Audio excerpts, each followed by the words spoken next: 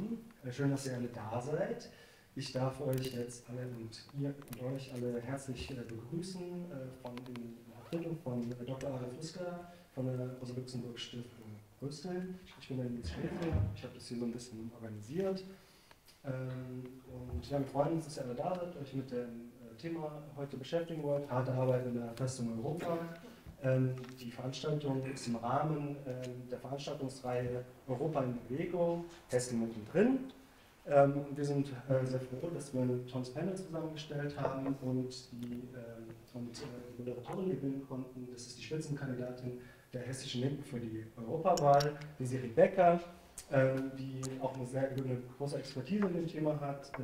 die äh, ist, arbeitet für Verdi und war selber auch äh, bei der Seenotrettung äh, aktiv, ähm, hat, also kennt die Arbeitsproblematiken und äh, Problematik, also, äh, Probleme, die Geflüchtete haben und äh, hat auch selber ihre, ihre Staatsexamensarbeit in dem Bereich Seenotrettung geschrieben. Und äh, genau, ich, wir freuen uns, dass sie da ist und ähm, ja, das Wort gehört dir, Siri. Ja, klar. So, jetzt? Ja, jetzt geht's. Super. Ja, danke schön und danke auch äh, fürs Organisieren. Ähm, ich will erstmal anfangen und unser äh, Panel hier vorstellen. Und ich würde erstmal anfangen mit Jörg Schesan. Äh, ich habe immer so gesagt, unser neuer und alter Bundestagsabgeordneter. Jörg war in der vorherigen Legislatur im Bundestag und ist jetzt im März nach dieser Berlin-Wahl praktisch wieder in den Bundestag reingerutscht. Ähm, er sitzt, ja, ja, nachgerutscht, reingerutscht. Er sitzt unter anderem im Wirtschaftsausschuss und ähm, Jörg ist äh, ursprünglich Soziologe. Genau, herzlich willkommen. Ähm, dann darf ich heute in Vertretung von Letizia Anna Weirich ähm, vorstellen. Sie ist auch bei Faire Mobilität und wird uns auch gleich nochmal genau erklären, was man da eigentlich so macht, weil das ist alles ein bisschen komplizierter. Sie berät vor allem auf Rumänisch in allen Branchen und sie ist gleichzeitig auch Koordinatorin für den äh, internationalen Straßentransport. Sie war selbst auch, ähm, wahrscheinlich kennen wir das hier in Hessen, vor allem in Gräfenhausen aktiv, als dort äh, die Kollegin äh, von äh, die Lkw-Fahrer äh, gestreikt, im wilden Streik waren. Genau, und sie wird uns bestimmt auch heute ein bisschen was noch davon erzählen. Schön, dass du da bist. Genau, und dann haben wir nochmal äh, für die Rosa-Luxemburg-Stiftung Nathalie Maurer. Sie ist wissenschaftliche Mitarbeiterin und Co-Koordinatorin in der Refugee Law Clinic in Gießen. Das ist äh, so eine Rechtsberatung für angekommene Geflüchtete. Äh, dort berät sie seit 2019 ehrenamtlich und sie ist Doktorandin im Unionsrecht und europäischen Migrationsrecht. Und äh, heute ist sie nicht in ihrer Funktion der Refugee Law Clinic hier auf dem, äh, auf dem Podium, sondern äh, bringt ihre Perspektive als Wissenschaftlerin und Rechtsberaterin hier mit ein. Und wir haben uns natürlich auch für heute was überlegt. Erstmal auch von meiner Seite herzlich willkommen. Schön, dass so viele da sind. Ähm, wir würden anfangen zuerst mal mit drei Einstiegsfragen, um so ein bisschen in die Thematik reinzukommen. Und dann starten wir in insgesamt drei Fragerunden. Und äh, nach jeder Fragerunde würden wir drei Fragen zulassen. Also ihr könnt dann gerne einfach eure Fragen stellen und wir versuchen sie hier vorne zu beantworten. Ich wär, es wäre sehr gut, wenn ihr, wenn ihr irgendwie von hier regionale Veranstaltungshinweise oder sonst was habt. Die hinten könnt ihr gerne eure Flyer dazu auslegen, wenn ihr wirklich bei diesen Fragerunden einfach Fragen stellt, weil wir sonst zeitlich wahrscheinlich äh, ziemlich knapp sind. Und dann gucken wir hinten raus, ob wir noch mal einen kurzen Werbeblock einbauen können. Genau. Ähm, wir sprechen heute über Arbeit von EU-Bürgerinnen und von Nicht-EU-Bürgerinnen in Deutschland und was eigentlich die europäische Politik damit zu tun hat. Und äh, wir starten einfach jetzt mal mit Anna, die ja bei, wie ich es eben schon gesagt habe, auch in Gräfenhausen dabei war und die Kollegen unterstützt hat, was denn faire Mobilität eigentlich macht. Ja, danke für die Einladung. Faire Mobilität ist eine Beratungsstelle, äh, die überwiegend vom Bundesministerium für Arbeit und Soziales finanziert wird und vom DGB getragen. Ähm, wir bieten an kostenlose und vertrauliche Arbeits- und äh, Sozialrechtsberatung und zwar unabhängig davon, ähm, ob die Leute Gewerkschaftsmitglied sind oder nicht, beziehungsweise gerade für diejenigen, die das nicht sind und deswegen ähm, keinen äh, Zugang zur Beratung durch ihre Gewerkschaft haben.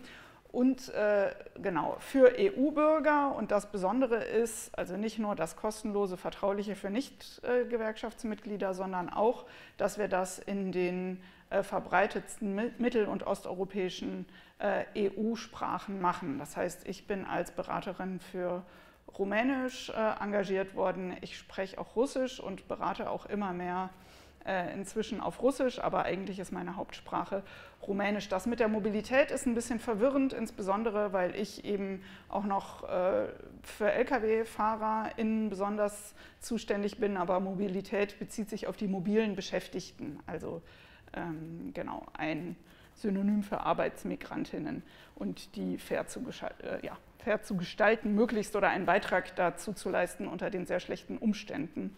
Unser Hauptgeschäft ist also wirklich die Beratung. Das heißt, ähm, ArbeitnehmerInnen rufen uns vor allem ähm, an, äh, wenn sie entweder eine Information brauchen, in der Regel aber, wenn sie schon ein äh, Problem haben. Ähm, und da gibt es also wiederkehrende Branchen, mit denen wir besonders viel zu tun haben, woraus dann auch resultiert ist, dass wir jetzt so seit etwa zwei Jahren eben Koordinatorinnen für diese Branchen haben, in denen besonders häufig die Probleme auftauchen. In Frankfurt haben wir super viel mit Beschäftigten vom Bau zu tun, ähm, saisonal bedingt mit der Landwirtschaft. Heute habe ich den ganzen Tag im Radio gehört, dass heute die Spargelsaison losgeht. Da werden wir auch jetzt regelmäßig dann auch auf die Felder gehen. Also das machen wir ergänzend zu dem, dass wir erreichbar sind per Telefon und so weiter. Wir gehen auch dahin, wo wir glauben, die Leute anzutreffen, die besonders prekär beschäftigt sind und die vielleicht von unserem Beratungsangebot auch noch nichts wissen. Äh, Fleischindustrie ist sowas, damit haben wir in Frankfurt nicht so viel zu tun, weil die ganzen Schlachthöfe eher in NRW, in Bayern, Baden-Württemberg und so weiter sind. Aber jetzt faire Mobilität gibt es bundesweit, also es äh, gibt 13 Beratungsstellen in ganz Deutschland, ist Fleisch auch sehr wichtig. Häusliche Betreuung, was man so als 24-Stunden-Pflege auch äh, bezeichnet, wo schon ja Teil des Problems drinsteckt, dass da eine Person den Job macht, den eigentlich nach Arbeitszeitgesetz drei Leute machen ähm, müssten. Äh, dann äh, CAP, also Kurier- und Paketdienstleistungen sehr viel und eben Lkw internationaler Straßentransport. Das sind die Branchen, wo wir jetzt wirklich auch nochmal so eine Expertise ausgebildet haben, aber wir haben auch super viel Gebäudereinigung ähm, und, so, und so weiter, also auch aus anderen Branchen.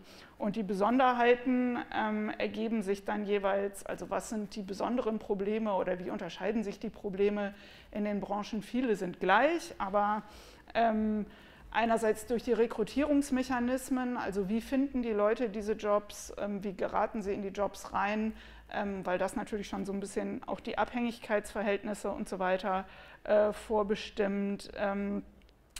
Äh, für die Beratung ist natürlich auch ganz wichtig, ist das etwas, was in einem Betrieb stattfindet, wo die Leute mit ihren Kolleginnen und auch den Vorgesetzten zusammen sind oder nicht. Also Lkw-Fahrende sind in der Regel alleine unterwegs. Äh, bei der Spargelernte ist man in der Gruppe und die Vorarbeiterin ist halt auch häufig mit dabei. Im Fleischbetrieb sind die Leute im Betrieb. Ähm, äh, das macht natürlich für die, ja, für die Beratung und aus gewerkschaftlicher Sicht für die Organisierung ähm, einen riesen Unterschied.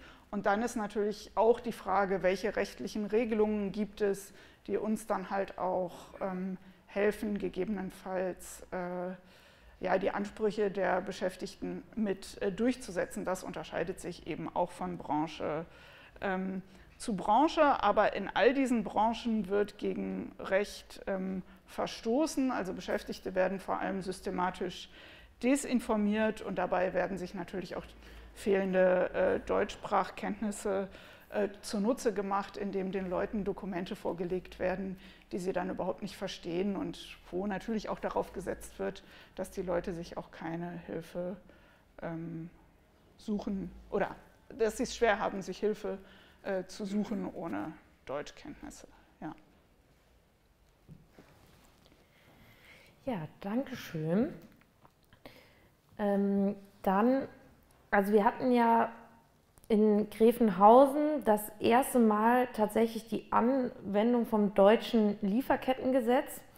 Und äh, das wird, glaube ich, auch öfter mal verwechselt. Es gibt noch das Liefer die Lieferkettenrichtlinie auf EU-Ebene. Das ist eigentlich das, was jetzt irgendwie in den letzten Monaten so viel in den Nachrichten war, weil das Lieferkettengesetz in Deutschland gibt es schon seit jetzt bald anderthalb Jahren.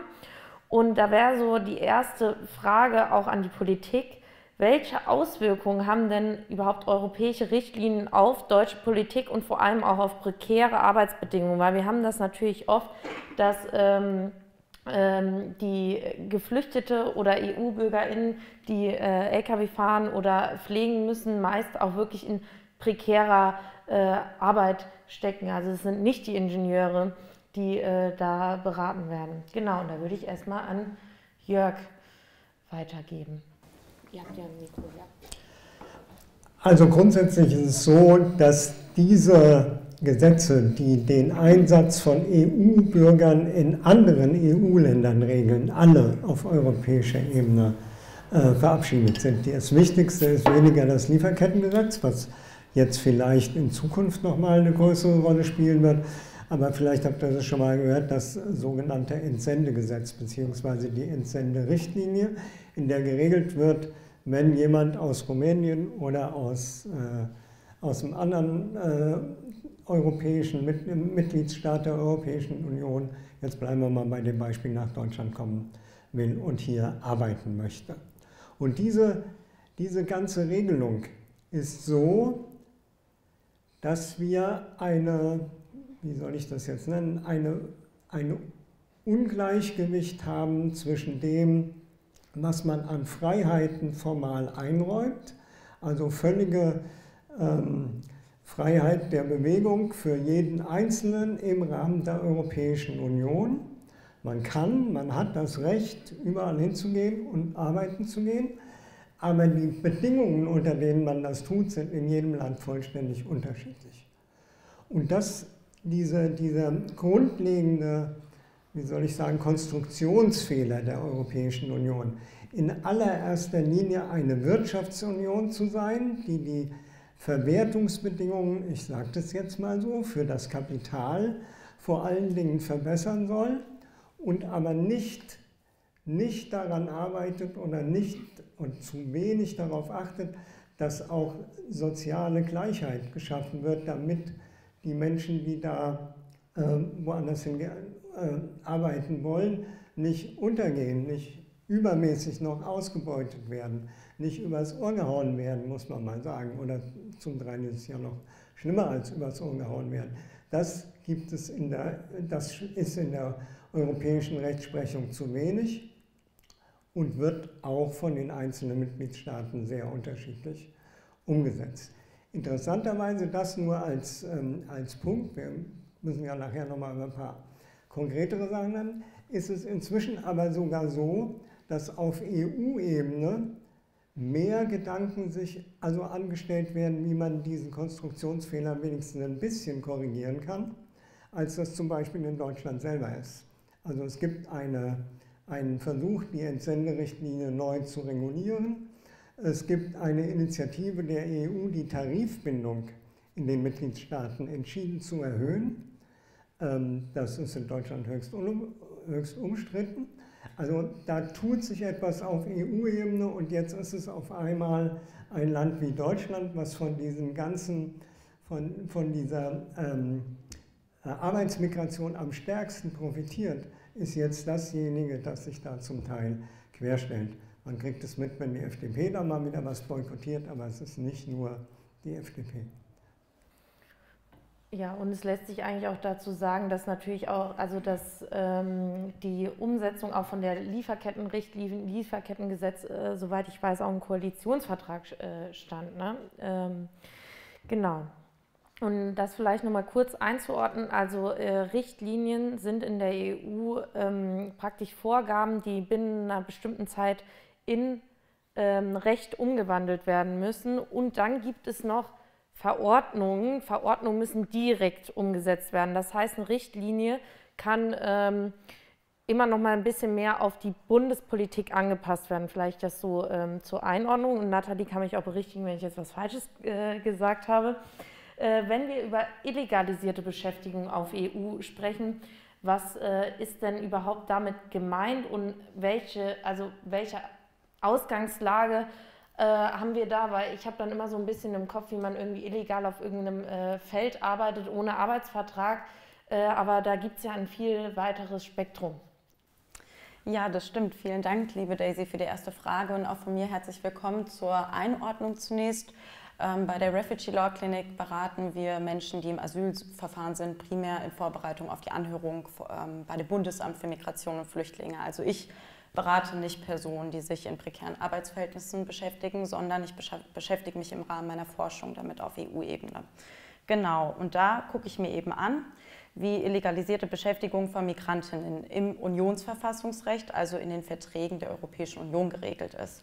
Mit Migrantinnen meine ich damit Drittstaatsangehörige. Also sprich, ich gucke mir nicht die Situation von EU-Bürgerinnen ein, die ja insbesondere die Arbeitnehmer in Freizügigkeit genießen und äh, freizügigkeitsberechtigt sind. Dass sich da natürlich in der Praxis sehr, sehr viele Probleme stellen, gerade weil dann die einzelnen Voraussetzungen der Freizügigkeitsrichtlinie auch nicht erfüllt werden und der Aufenthalt dann langfristig nicht gesichert ist, was insbesondere an Einkommensvoraussetzungen scheitert.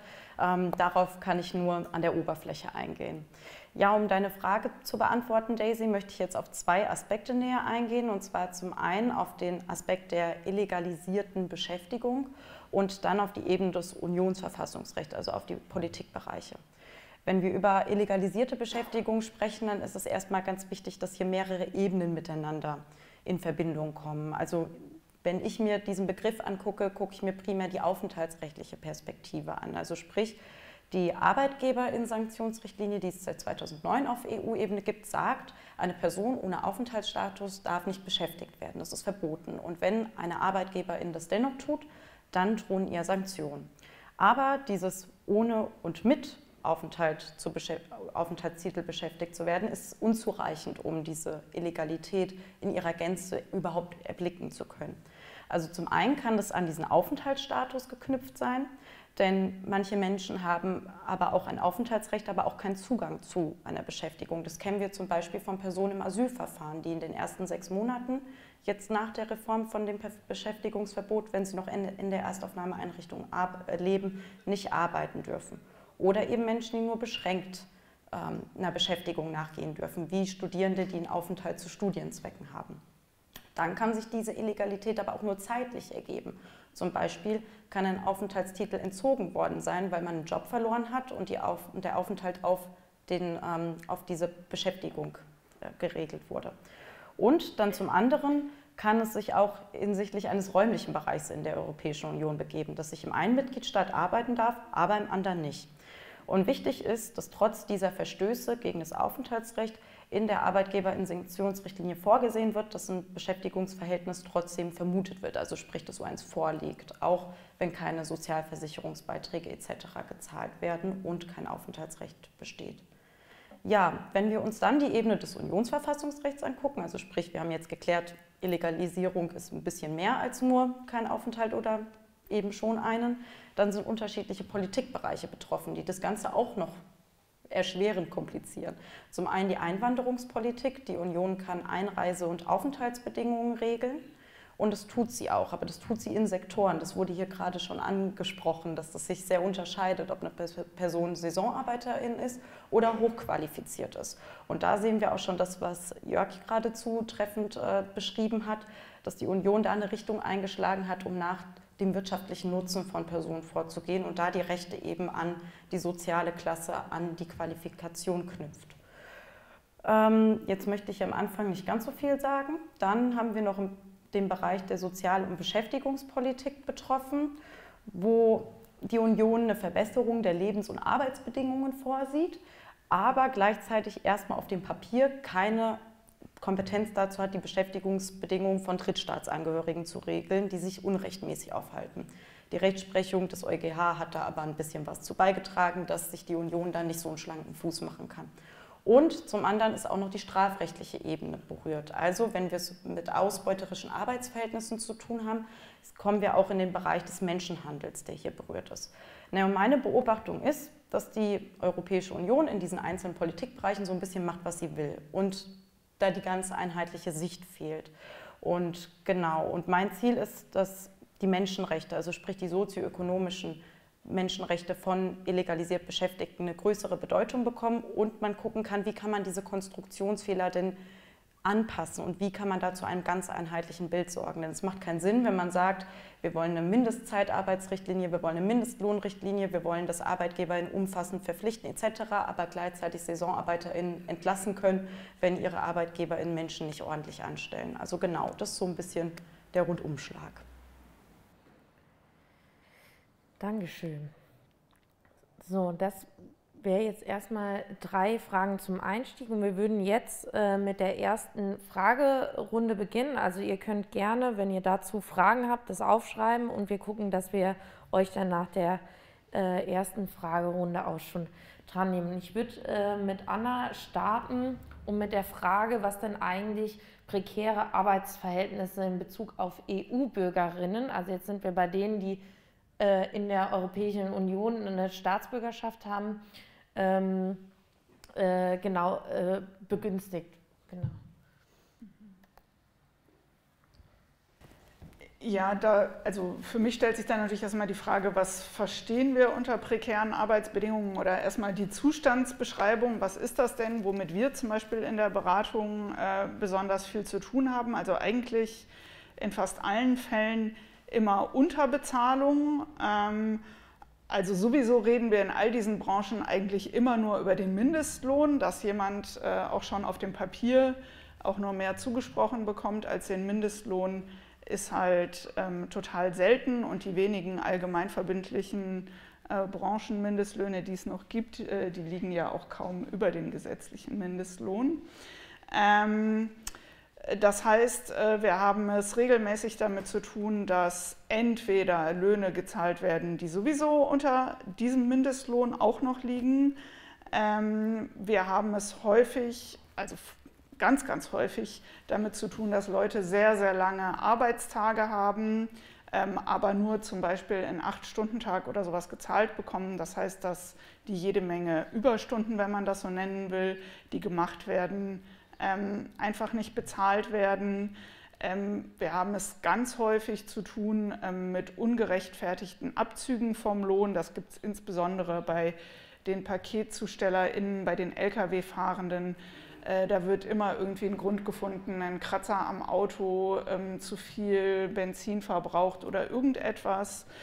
Ähm, und sehr, sehr oft auch, und das ist eigentlich auch der häufigste Grund, warum sich Leute an uns wenden, ähm, äh, also Kündigung, äh, häufig auch ähm, ja, mündlich und so weiter, äh, in Verbindung mit Nichtbezahlung des letzten Lohns. Also man kann eigentlich sagen, standardmäßig, wer in diesen Branchen äh, gekündigt wird, da wird auch erstmal das Geld, das jetzt äh, noch nicht bezahlt war, auch nicht ausbezahlt. Man kann es ja mal drauf ankommen lassen, diese Leute können sich ja auch, also wird dann gehofft, dass die Leute sich nicht beschweren und auch keine Unterstützung haben.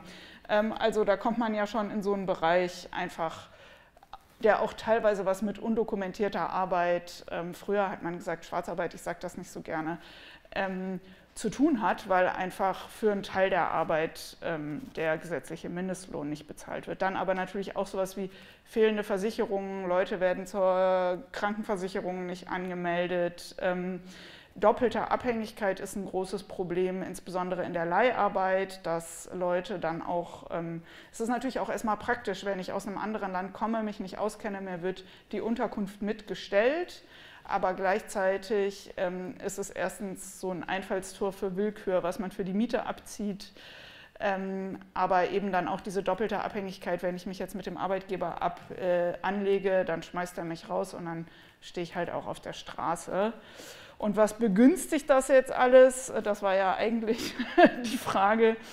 Also natürlich äh, die Notlagen, die die Menschen dazu überhaupt bewegt, sich auf sowas einzulassen. Also das ist ja völlig klar, dass niemand in einem deutschen Schlachthaus arbeitet, weil das irgendwie was ist, was man sich gewünscht, gewünscht hat als berufliches Ziel, sondern das tut man, weil dort, wo man sonst wohnt, es schwierig ist, für den Unterhalt aufzukommen und weil man hofft, äh, dass man in unserem Fall in Deutschland ähm, besser, schneller, mehr Geld verdienen kann, auch zu besseren Bedingungen. Also äh, natürlich äh, werden Leute auch desillusioniert, weil es teilweise immer noch die Vorstellung gibt, ähm, dass äh, in Deutschland mehr Recht irgendwie vorherrschen würde als in anderen Ländern, was natürlich nicht der Fall ist.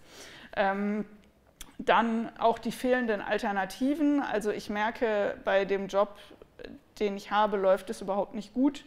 Ähm, ich werde ausgebeutet, ich kriege mein Geld nicht, aber ich weiß nicht, was ich alternativ machen soll, vor allem weil in den Jobs, die mir auf diesem oder die unseren Ratsuchenden auf diesem Arbeitsmarkt ähm, angeboten werden, ähm, herrschen halt überall die gleichen Probleme.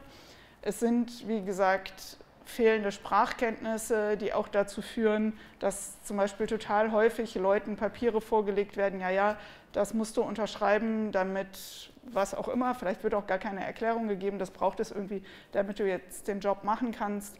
Und die Leute unterschreiben alle möglichen Dinge, die sie erstens nicht verstehen und die zweitens äh, für sie auch nicht vorteilhaft sind, bis dahin zum Beispiel schon einen Blanko-Aufhebungsvertrag beim Einstellen mit zu unterschreiben, damit ähm, dann der Arbeitgeber, wenn, er, wenn, ich, wenn der Ratsuchende oder die Ratsuchende unbequem wird, das einfach zack, zack ausgefüllt werden kann und es so aussieht, als sei das im beidernehmen, also im gegenseitigen Einverständnis und dann keine Kündigungsklage mehr äh, möglich ist.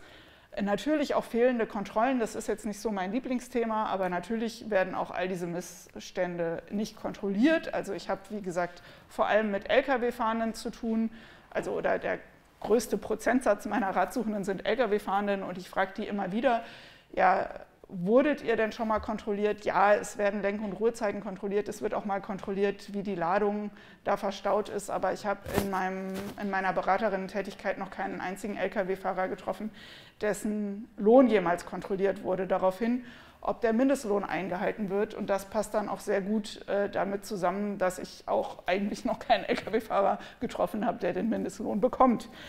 Ähm, ja, und auch, das Thema hattest du ja schon angedeutet, ähm, aber genau, ich weiß, ich muss zum Ende kommen, fehlende Verantwortung in der Lieferkette, können wir gleich nochmal äh, drüber reden, ähm, ist natürlich auch immer total wichtig, dass das auch immer im Auftrag von großen Unternehmen äh, geschieht, die da keine Verantwortung übernehmen. Alles gut.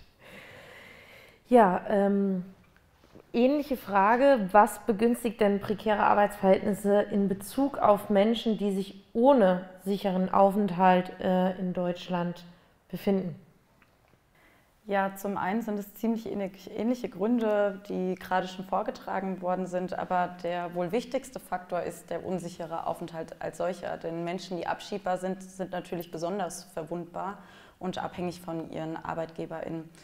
Und hinzu kommt auch noch die eingeschränkte, die eingeschränkte Möglichkeit mit der Beschäftigung, die ausgeübt wird, tatsächlich auch den Aufenthalt zu legalisieren, also sprich einen Aufenthaltstitel zu bekommen. Und dann stellt sich natürlich auch noch die Schwierigkeit, dass die Ansprüche, die zwar auf dem Papier bestehen, dann aber eben auch nicht tatsächlich durchgesetzt werden, weil natürlich die Angst vor der Abschiebung besteht. Dann neben diesem unsicheren Aufenthalt als solchen kommen auch noch tatsächliche Umstände und die Rechtslage, die dann dazu beiträgt, dass die beiden Faktoren unsichere Beschäftigungsverhältnisse begünstigen hinzu. Tatsächliche Umstände sind solche wie das Geschlecht. Wir haben hier gerade auch schon äh, zutreffend berichtet bekommen, dass insbesondere Hausangestellte, also die, die rund um die Uhr arbeiten, natürlich überwiegend Frauen sind.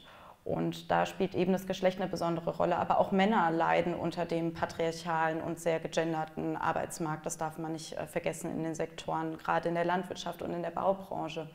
Das ähm, Geschlecht ist also eine wesentliche Rolle. Aber eben auch die soziale Klasse. Also sprich die Qualifikation, die bemisst, welchen Zugang habe ich zu Bleiberechten und vor allem auch, wie gut kann ich denn überhaupt meine Arbeitsbedingungen geltend machen. Also insbesondere hochqualifizierte ForscherInnen in der Europäischen Union haben hinreichende Mobilitätsrechte, können ihren Arbeitgeber wechseln etc. Das sieht natürlich bei Menschen in der Saisonarbeit ganz anders aus. Und hinzu kommt dann eben noch, dass die einzelnen Sektoren natürlich sehr unterschiedliche Ausgangsvoraussetzungen mitbringen. Das unterscheidet sich nicht wesentlich bei Menschen, die keinen Aufenthalt haben.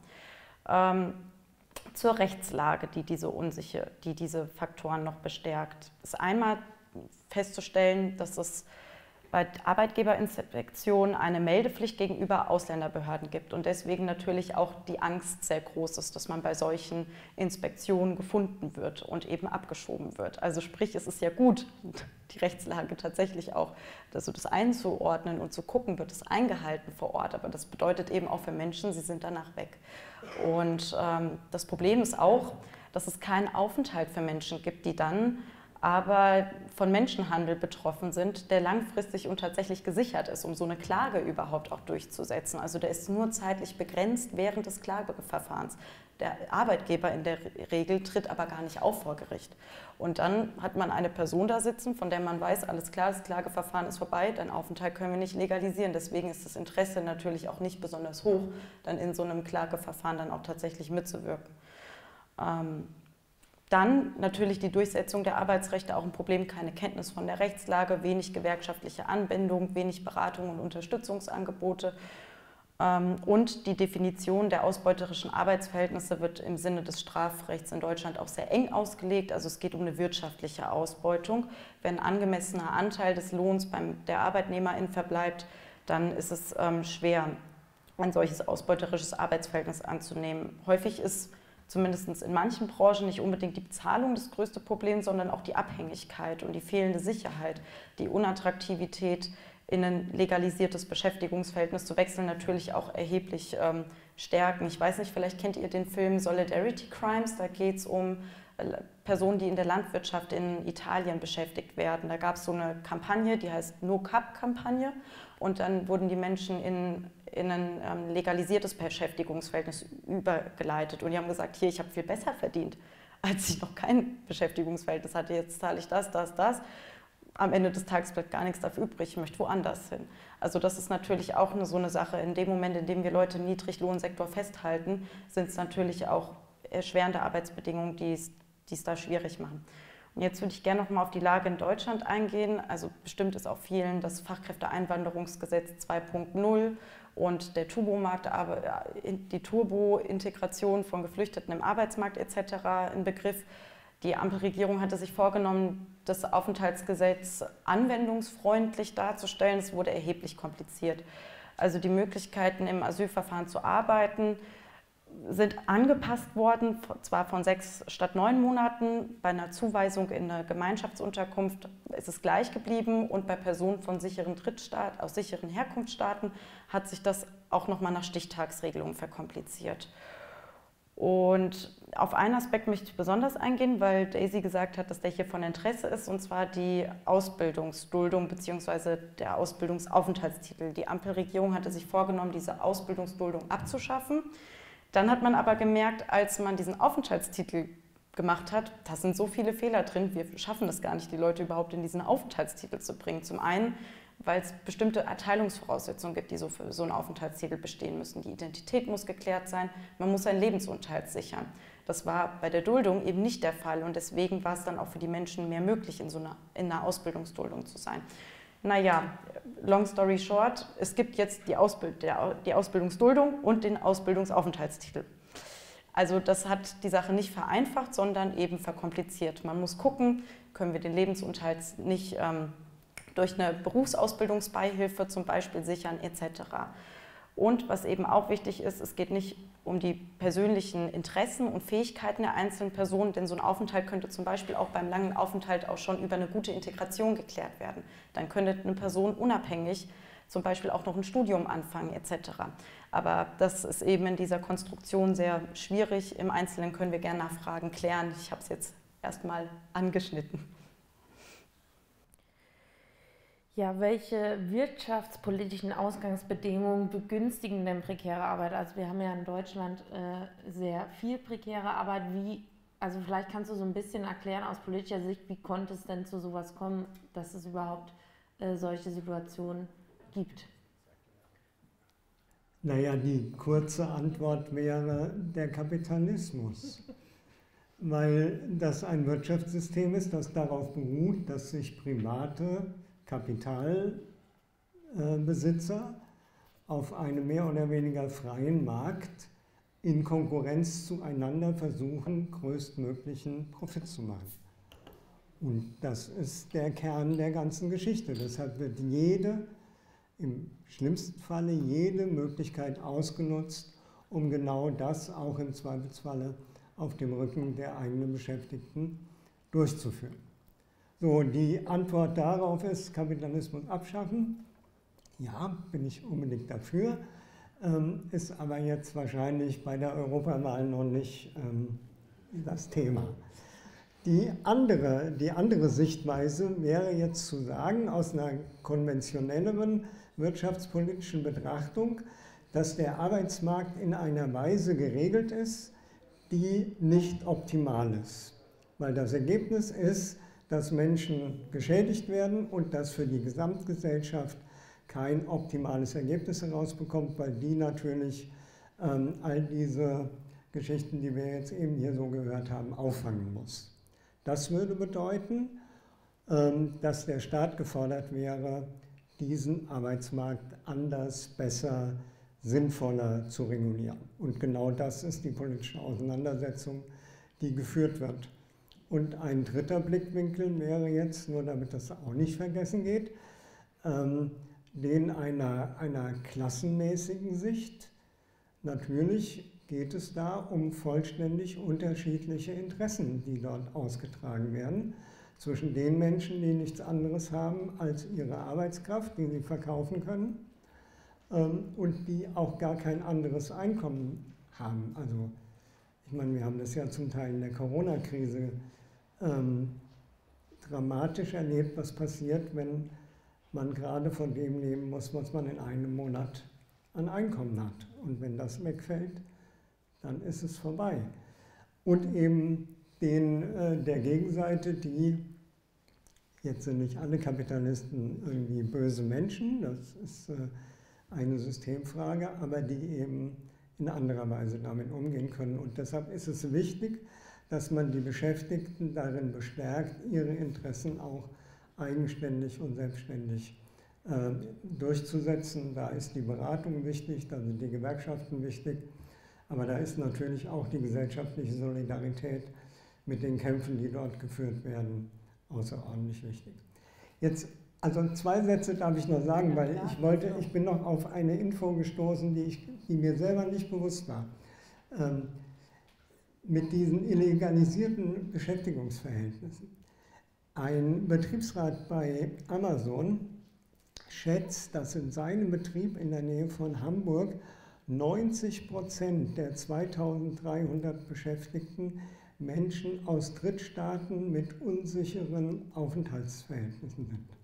Also das sind weder die Gastarbeiter, die, wie man sie früher genannt hat, noch die europäischen Kollegen aus dem Nachbarland, sondern das sind wirklich diejenigen, die im Zweifelsfalle also so schnell hier wieder verschwunden sein können nach ihrer recht, prekären rechtlichen das sind diejenigen, die jetzt Amazon beschäftigen.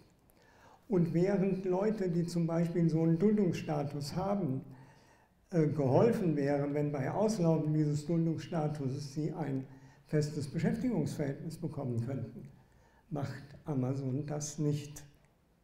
Man lässt die eigenen Beschäftigten, die man vielleicht ein halbes oder ein Jahr oder sonst wie ähm, für wenig Geld hat schuften lassen, dann aber ähm, in die Abschiebung gehen. Das ist schon eine Art von Umgang, also finde ich schon ziemlich erbärmlich, aber gut.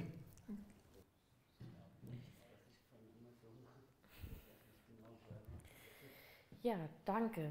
Damit hätten wir jetzt die erste Fragerunde und es wäre Zeit für eure Fragen. Kannst du irgendwie ein Mikro nehmen? Genau. Und ähm, wir, also wir sammeln drei Fragen, würde, würde gehen und wir sind ja ähm, äh, progressiv, also wir würden das so ein bisschen quotiert machen, also Geschlechter äh, wechseln. Ja, und dann gerne. Ich habe eine Frage, ähm, da würde ich ganz gerne eure Meinung dazu hören. Also woraus nährt sich die Motivation, Menschen so auszubeuten. Jetzt als Jurist sage ich jetzt eine Sache. Wenn ein, irgendjemand eine Straftat begeht und sich daraus Vermögensvorteile sichert, dann hat der Staat nach der Strafprozessordnung die Möglichkeit, diese erlangten Vermögenswerte einzuziehen per Beschluss. So. Aber in Deutschland, das ist meine persönliche Meinung, gibt es einfach keine Hauptunternehmerhaftung. Das heißt, wenn ein Unternehmen, zum Beispiel im Bausektor, einen großen Auftrag aus der Vergabe bekommt und 20 Subunternehmer reinzieht, wo irgendwo was Illegales läuft, dann kommt der Staat am Ende nicht und sagt, hier, du hast den Estrichboden verlegt bekommen, du hast das Gebäude gebaut bekommen, du hast schon einen Vorteil gezogen, wir entziehen ihn dir wieder. Unabhängig davon, ob die, ob die das jetzt selbst gemacht haben oder ob die, Subunternehmer ausgebeutet und benutzt haben. Also der Staat müsste nach meiner Meinung, und da würde ich auch um eure Meinung bitten, ähm, durchaus auch mal so die Konsequenz aus dieser Handlung ein Stück weit verfolgen. Im Interesse der Bürger, im Interesse, dass das nicht strukturell passiert. Weil gerade im Baubereich, da reden wir teilweise von Steuerhinterziehungen, die im Jahr 2019 auf über 142 Milliarden Euro also festgelegt wurden. Das waren die, die man feststellen konnte. Also eure Meinung dazu würde ich ganz freuen. Also Kapitalismus dort man den komplett abschaffen kann, ist eine andere Frage, aber Kontrollmöglichkeiten, dass der Staat für die Bürger mehr Kontrollmittel einsetzt, das wäre nach meinem Dafürhalten der richtige Weg. Dankeschön. Wirklich Milliarden oder Millionen? Milliarden. 142 Milliarden entzogene Steuern in Deutschland. Wir können uns im Anschluss auch noch mal ein bisschen unterhalten. Es gibt im Übrigen auch Getränke und ich glaube auch später noch mal von der RLS ein Catering. Ähm, genau. Wer hätte denn noch Fragen? Ja, dann. Ich wollte mal kurz darauf hinweisen, dass natürlich die ganze Verwobenheit, was ihr ja angesprochen habt, noch komplexer ist. Natürlich erstmal ist ja wichtig, wir brauchen auch eine Sozialunion in Europa. Nicht? Warum? Der unmittelbare Überlebenskampf in Südosteuropa, in Südeuropa, der ist deutlich schlimmer als hier. Und das erzwingt ja viele Menschen, nicht nur Arbeitsmigranten, aber gerade sie auch in den Westen zu kommen, also Westeuropa, Nordeuropa und so weiter. Die informellen Arbeitssektoren, Subsektoren sind deutlich in vielen europäischen Ländern des Südens, des Südostens deutlich größer wie hier. Es gibt hier auch informelle Arbeitssektoren, aber dort viel größer. Also das, ja erstmal, das sollte doch erstmal der, der Ansatz sein, um überhaupt eine Sozialunion, gerechtere, menschenwürdige Arbeitsplätze für alle Menschen in allen EU-Mitgliedstaaten zu schaffen. So, da wollte ich zunächst mal darauf hinweisen. Nicht, das ist eigentlich das Standbein, um wirklich für soziale Gerechtigkeit sorgen zu können, oder? Und noch in eine Frage gepackt. Und dann habe ich, glaube ich, noch Axels Händchen äh, gesehen. Warte, du musst ins Mikro sprechen, weil äh, wir nehmen ja die Veranstaltung auf. Genau, danke. Alles klar. Super. Ja, äh, geht in eine ähnliche Richtung. Äh, also die ganzen Problemlagen, die jetzt dargestellt worden sind, sind ja ultra komplex. Und wir hatten das auch im Zusammenhang mit Gräfenhausen, äh, als wir im Landtag darüber debattiert haben, dann hieß es, ja, da, da ist der Zoll zuständig und ja, da ist äh, das Regierungspräsidium zuständig und da ist die EU zuständig. Äh, also das waren alle immer zuständig, außer äh, im äh, Landesparlament. Ähm, die, meine Frage ist sozusagen, seht ihr irgendwelche Hebel, wo man sagen kann, ja, es gibt bestimmte Punkte, die sind so zentral in diesem komplexen Geflecht, die anzugreifen, würde sich wirklich lohnen, äh, um eine grundlegende Veränderung äh, der Verhältnisse herbeizuführen. Weil das, was ich hier jetzt gehört habe, werde ich ja ganz strullig an äh, verschiedenen Problemlagen, die äh, objektiv vorhanden sind. Aber sozusagen als Politik würde ich ja fragen, was kann ein Ansatzpunkt sein, äh, um das Ganze aufzuklären? Also mein Eindruck ist zum Beispiel, äh, die Frage der Kontrollen scheint mir eine ganz zentrale Frage zu sein, weil äh, was nützt einem das schönste Gesetz und die, die, die schönste Rechtslage, äh, wenn sie im praktischen Leben aber real nicht umgesetzt äh, ist?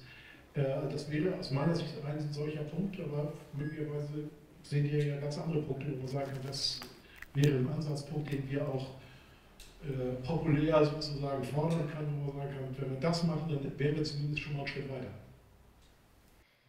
Okay, dann äh, wer möchte denn zuerst antworten? Soll ich einfach, Anna? Äh, ja, soll ich auf alle Fragen jetzt antworten? Auf die. Ja, genau.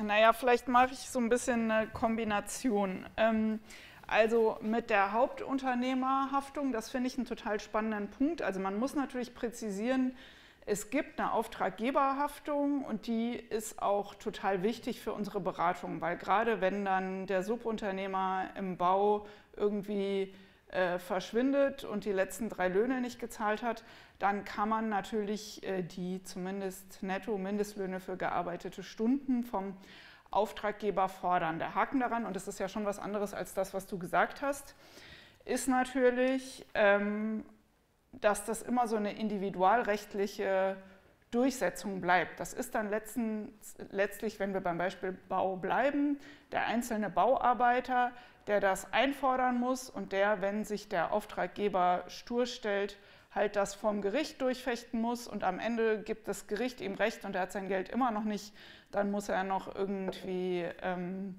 äh, ja, eine Vollstreckung irgendwie veranlassen und so weiter. Und das ist ja ein Riesenaufwand, der auch Ressourcen, also ähm, zeitliche, finanzielle ähm, Bildungsressourcen und alles beansprucht. Also das heißt, es ist ja auch, glaube ich, hier im Raum wahrscheinlich allen klar, dass äh, Individuen auch vor dem Recht nicht gleich sind und dass auch da die äh, Arbeitgeberseite es äh, sehr viel leichter hat, bessere Ausgangsvoraussetzungen als halt die individuelle Person. Erst recht, also ja, einfach weil es kostet und ähm, weil man sich auskennen muss ähm, und so weiter. Und das könnte man vielleicht dann den Punkt zu deiner Frage, die Kurve wenn man an der Stelle das Individuum, also wenn wir jetzt nur vor dem gegebenen Recht diskutieren, äh, das Individuum stärken könnte, dieses Recht auch durchzusetzen. Das ist auf der einen Seite ein Verbandsklagerecht für solche Sachen, das wir in Deutschland nicht haben. Also im Umweltbereich gibt es das meines Wissens, aber nicht im Bereich Arbeit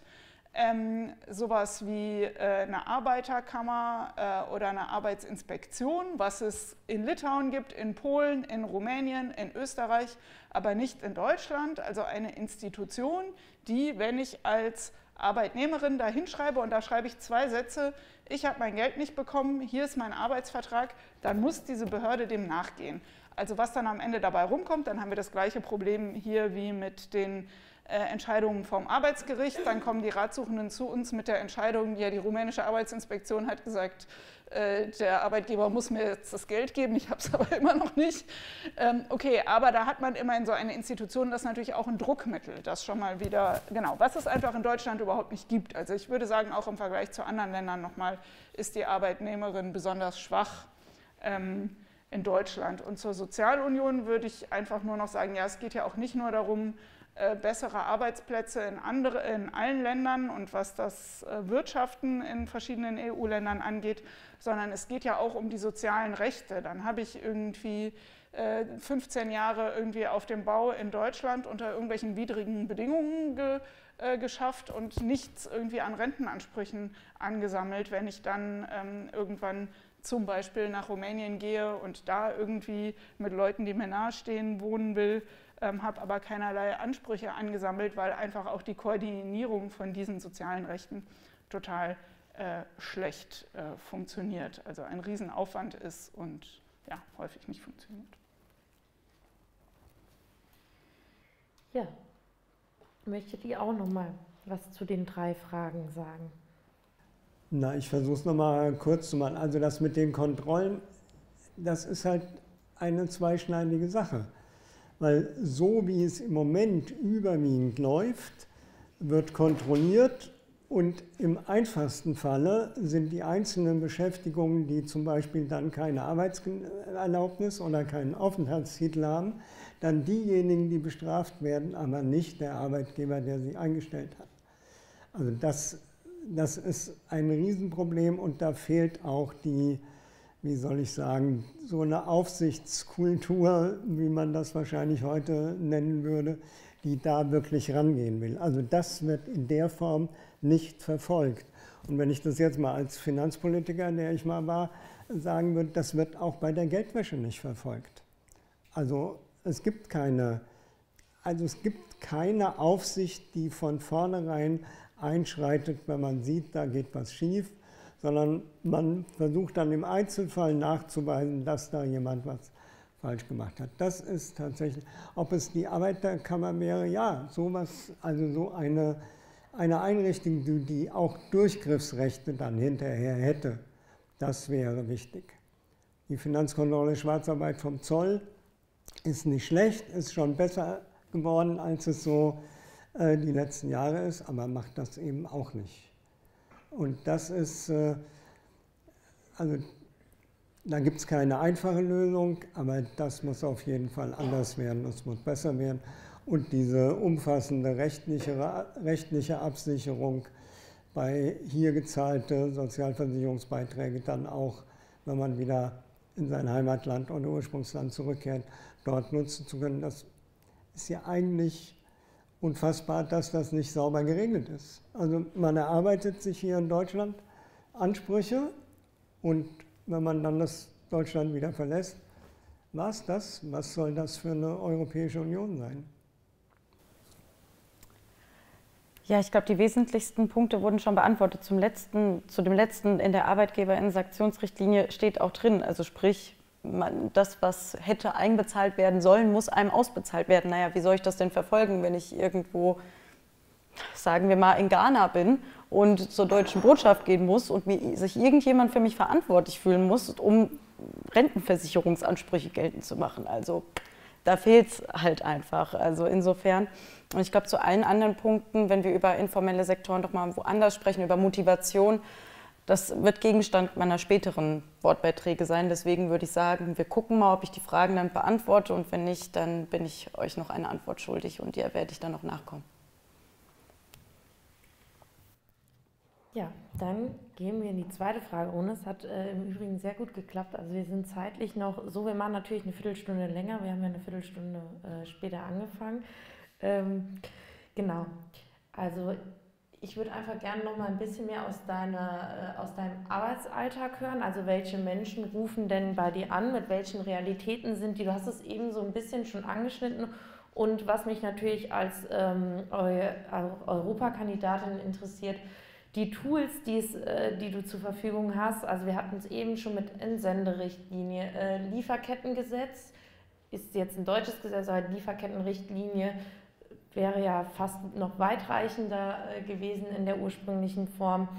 Aber es gibt ja jetzt zum Beispiel auch, äh, dass man seine Arbeitszeit auch elektronisch erfassen muss von europäischer Ebene. Äh, solche Tools helfen die, die faire Arbeitsbedingungen innerhalb der EU äh, zu organisieren. Das ist eine weitläufige Frage. Ähm, ja, wenn ich das vergesse, erinnere mich gleich nochmal an das mit der Arbeitsaufzeichnung. Also, ähm, was passiert bei uns insgesamt? Ich habe ja schon gesagt, Faire Mobilität hat 13 Standorte in, in ganz Deutschland. Also ich glaube, 38.000 Leute haben sich in irgendeiner Form an faire Mobilität letztes Jahr gewendet. Hier in Frankfurt hatten wir 1256 Fälle. Aber genau das Stichwort Gräfenhausen ist schon gefallen. Es gab zwei Proteste, das war jeweils ein Fall. Also das sind auch Gruppenfälle dabei. Also die sind selten so groß und so arbeitsaufwendig wie Gräfenhausen, aber viele ziehen sich schon über viele Monate ähm, auch. Äh, genau, und die meisten Fälle bearbeiten wir eben auf Polnisch und Rumänisch, aber das sind auch ein bisschen so statistische Effekte. Da haben wir halt auch die meisten Beraterinnen, die das sprechen, dann können auch die meisten Fälle bearbeitet werden. Aber es sind auch große, wichtige Gruppen und das manchmal ist es eine einfache Infofrage. Also äh, jetzt hatte ich gerade Urlaub, die letzte Mail vor meinem Urlaub, die mich erreicht hat, da schrieb mir ein belarussischer Lkw-Fahrer, der beim litauischen Unternehmen beschäftigt ist, ich hätte gerne sowas wie eine Lohnabrechnung. Ähm, mein Arbeitgeber will mir das nicht geben, habe ich nicht Anspruch auf eine Lohnabrechnung. Ja, also es ist in dem Sinne eine Infofrage. Dann kann man sagen, ja, darauf hast du recht und in Litauen gibt es auch die folgende Sozialversicherungsbehörde, da kannst du dich auch anmelden und sagen, bitte schicken Sie mir regelmäßig eine E-Mail, in der Sie mir Auskunft geben, ob mein Arbeitgeber ähm, meine Sozialversicherungsbeiträge gezahlt hat. Kann man in Litauen machen, das ist zum Beispiel auch eine super Sache. Wäre ich auch froh, wenn ich das auch allen Leuten raten könnte, die einen deutschen Arbeitgeber haben. Aber meistens wenden sich natürlich Leute an uns, die schon ein Problem haben und nicht nur, also das ist eigentlich auch schon ein Problem, aber die nicht nur eine Information wollen, ähm, meistens mit einem akuten Problem. Meistens sind die Probleme auch ähm, multiple, also oder vielseitig. Also zum Beispiel, wenn es irgendwie um eine mündliche Kündigung geht, dann geht es gleichzeitig auch also meistens um Arbeitslosengeld, um ausstehende Löhne, äh, wie gesagt häufig um die Unterkunft oder sowas. Und es kommt halt auch immer wieder vor, äh, dass Leute schon aus einer akuten Notlage heraus anrufen. Also sowas wie, ich wurde gerade auf die Straße geschmissen, ich habe kein Geld und ich weiß jetzt nicht, ähm, wohin oder sowas in der Sache. Und also die Top-Gründe bei uns auch statistisch gesehen sind Entlohnung. Ich habe mein letztes, meine letzten zwei, meine letzten drei Gehälter nicht bekommen. Ich habe nicht genug Geld bekommen. Es wurde irgendwas einbehalten ähm, oder ich wurde äh, gekündigt und dann auch alles Mögliche, was mit Krankheit oder Arbeitsunfällen und so weiter ähm, zu tun hat. Äh, bietet, also was helfen die Tools, die es schon gibt? Ja, der rechtliche Rahmen bietet schon viele Tools, aber das Problem ist halt, dass man die halt einfach, wie gesagt, für jedes Individuum und manchmal sehr, sehr, sehr, sehr zäh äh, durchkämpfen muss. Also die Auftraggeberhaftung, über die ich eben schon gesprochen habe, die ist ein total nützliches Tool, weil es halt natürlich auch häufig schon hilft, wenn man zum Beispiel die Löhne beim Auftraggeber geltend macht. Also das hatte ich gerade, hat es auf die Art und Weise hat sich während meines Urlaubs ein Fall gelöst, weil nachdem dann die E-Mail an den Auftraggeber ging und der dann seinem Auftragnehmer gesagt hat, kannst du mir mal bitte diese Probleme vom Hals halten, hat der plötzlich ganz schnell den Arbeitnehmer bei der Sozialversicherung angemeldet und ähm, äh, Lohnabrechnungen geschickt und will jetzt auch Geld bezahlen. Also das ist etwas sehr Nützliches.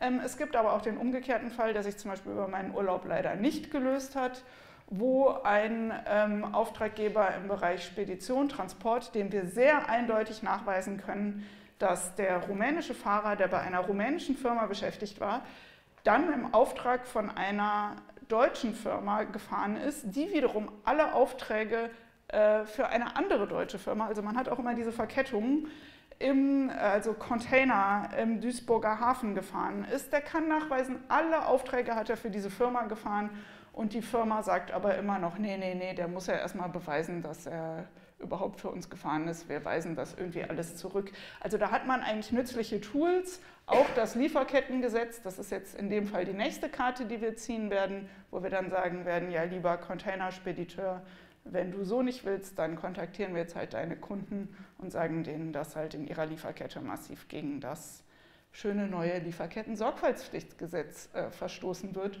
Und dann reden wir halt da nochmal darüber, ob du das wirklich alles nicht nachvollziehen kannst.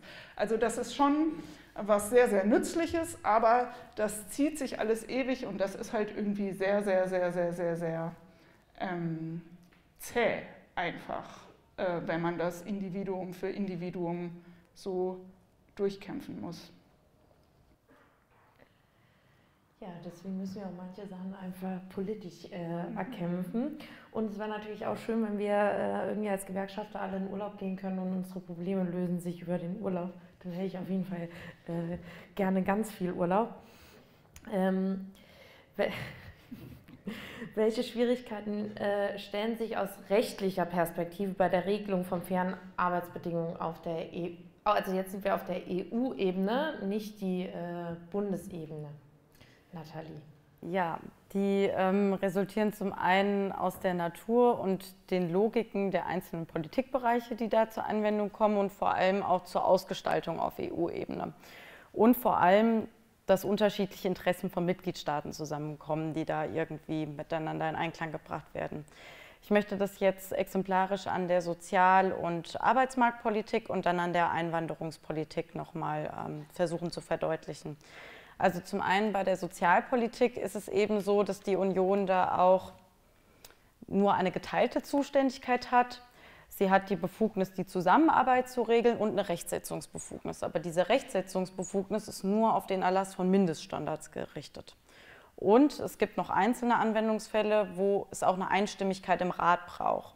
Also sprich, man fragt sich schon erstmal, auf welche Kompetenz kann ich überhaupt diese Richtlinie stützen. Dann gibt es da sehr, sehr viel Streit. Das haben wir zum Beispiel gesehen bei der ähm, Mindestlohnrichtlinie, wo ja bis heute Mitgliedstaaten sagen, dazu hatte die Union aber überhaupt nicht die Kompetenz. Das wird dann vom EuGH weiter ausgetragen etc. Also versucht man sich dann irgendwie hinter den Türen auf irgendeinen Vorschlag zu einigen, wo dann die Welle flach gehalten werden. Oder wir haben es jetzt auch bei der Plattformarbeit gesehen, die Richtlinie. Ähm, da gab es jetzt eine erste Einigung im Rat. Das Europäische Parlament ist jetzt dran. Da sollte es eigentlich, also Ziel dieser Richtlinie war, dass man die Beschäftigungsverhältnisse von PlattformarbeiterInnen tatsächlich auch als Arbeitsverhältnis und sie nicht als Selbstständige begreift. So, Problem, man wollte eigentlich in der ganzen Europäischen Union für jedes Mitgliedstaat verbindliche Kriterien festlegen. Unter den und den Voraussetzungen müsst ihr von einem Beschäftigungsverhältnis aussehen. Na, das wurde jetzt blockiert, maßgeblich von Frankreich und Deutschland. Und jetzt gibt es eben nur eine Vermutung dafür, dass so ein Arbeitsverhältnis vorliegt. Aber wann die Mitgliedstaaten es anwenden, das, das bleibt ihnen überlassen. Und jetzt haben wir natürlich noch erschwerend, kommt dann hinzu, wenn es dann noch um Einwanderungsfragen geht. Das haben wir zum Beispiel bei diesem Verfahren von der, also man muss sagen, es gibt keine Richtlinie, die direkt die Situation für Menschen ohne Aufenthalt, die beschäftigt werden, adressiert innerhalb der Sozialpolitik. Es gibt keine Richtlinie, die das auf EU-Ebene innerhalb der Sozialpolitik adressiert. Aber die Mitgliedstaaten können sich da keinen schlanken Fuß machen. Es gibt zum Beispiel eine Richtlinie, die ähm, rückt, also die vorsieht, dass wenn mein Arbeitgeber in Insolvenz geht, dass, dass, dann trotzdem noch meine Lohnansprüche gesichert sind. Da hat ein Mitgliedstaat mal versucht, ah nee, du hast keinen rechtmäßigen Aufenthalt, deswegen fällst du gar nicht unter die Richtlinie. Da hat der EuGH gesagt, nein, ihr könnt die Person nicht davon ausschließen, es gibt überhaupt keinen Grund, warum ihr die Person anders behandelt als sie. Alle sollen davor geschützt werden, ihre Ansprüche tatsächlich geltend zu machen. Aber im Bereich der, der ähm, Migration kommt dann eben äh, noch hinzu, dass die Mitgliedstaaten hier besonders ihre Einwanderungskontrollen sichern wollen. Also sie wollen sichern, dass Menschen, die dass sie selbst erstmal die Voraussetzungen festlegen, um zu verhindern, dass mehr Menschen gezielt nach Deutschland kommen wollen, um hier zu arbeiten. Das ist durch die Sozialwissenschaft als Push-Pull-Faktoren, die wurden schon lange widerlegt. Die Politik orientiert sich trotzdem noch maßgeblich danach. Ähm, in den 70er Jahren hat man eben versucht, einen sehr fortschrittlichen Weg in der Europäischen Union einzugehen. Die Kommission hatte da versucht, die Rechtsstellung von Migrantinnen in diesen Beschäftigungsverhältnissen zu stärken. Das hat aber nicht geklappt, weil das blockiert wurde von den Mitgliedstaaten. Und das, was wir jetzt bekommen haben, 30 Jahre später, ist die Arbeitgeberinnen-Sanktionsrichtlinie, die die einzige Richtlinie ist, die eben direkt die Situation von Menschen ohne Aufenthalt in Beschäftigungsverhältnissen adressiert, aber eben Verstöße gegen das Einwanderungsrecht verhindern will. Also es hat das Ziel, illegalisierte Migration zu bekämpfen, indem man diese Beschäftigung nicht haben will. Und das ist ein Konstruktionsfehler. Denn es geht nicht darum, die Rechtsstellung der Person zu stärken, weil eben da die Mitgliedstaaten sehr, sehr viel mitreden und ihre Macht behalten wollen und dadurch natürlich auch der den Mitgliedstaaten selbst überlassen wird, unter welchen Voraussetzungen können sie dann Menschen zulassen oder eben nicht. Also das sind ja und Menschen mit wenig wirtschaftlicher mit wenig wirtschaftlichen Mitteln, Qualifikationen sollen natürlich auch keinen Zugang bekommen, weil dann keine Flucht in Sozialsysteme etc. Das sind alles Ausgangsvoraussetzungen, die da eine Rolle spielen, die sich über die Jahre ähm, leider trotz der Faktenlage, die eine andere ist, als Glaubenssätze manifestiert haben. Ja, dann vielleicht noch eine letzte Frage an dich. Also man hört ja überall irgendwie, es äh, gibt einen Fachkräftemangel und es äh, gibt einen Fachkräftemangel auch in der äh, Lkw-Branche, äh, eigentlich überall. Also wieso kommt, also wo, was sind politische Gründe dafür, dass man Menschen trotzdem noch so ungleich äh, behandelt, auch wenn sie hierher kommen und hierher ähm, äh, migrieren und vielleicht sich hier auch ein Leben aufbauen wollen. Weil wir brauchen ja tatsächlich eigentlich auch Menschen, die hier arbeiten möchten. Und das äh, vielleicht auch nochmal so ein bisschen auch auf die Ausbildung bezogen. Das hat Nathalie auch gesagt, ähm, ähm, dass Menschen hier ausgebildet werden und sie werden während der Ausbildung abgeschoben. Also wie, wie, wie kann man sowas begründen und warum ändert sich da nichts? Oder warum will man das nicht ändern?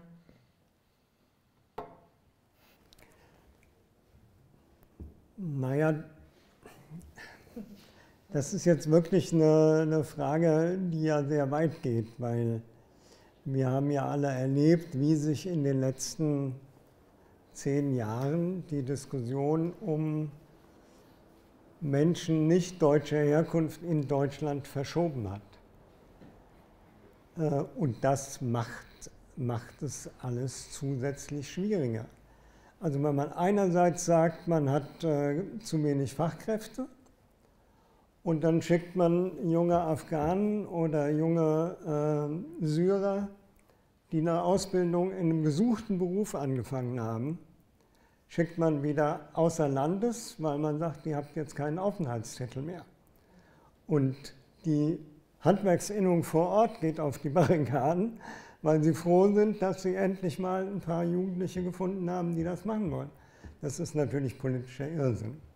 Der lässt sich auch nicht wirklich rational erklären. Da spielen Dinge eine Rolle, wo dann irgendein Entscheidungsträger kein Rückgrat hat oder eine, eine Auseinandersetzung nicht machen will. Der, da, der zugrunde liegende Mechanismus ist, ähm, ist tatsächlich, dass die, die Rechtsetzung immer noch nicht weit genug geht, um so etwas rechtssicher verhindern zu können.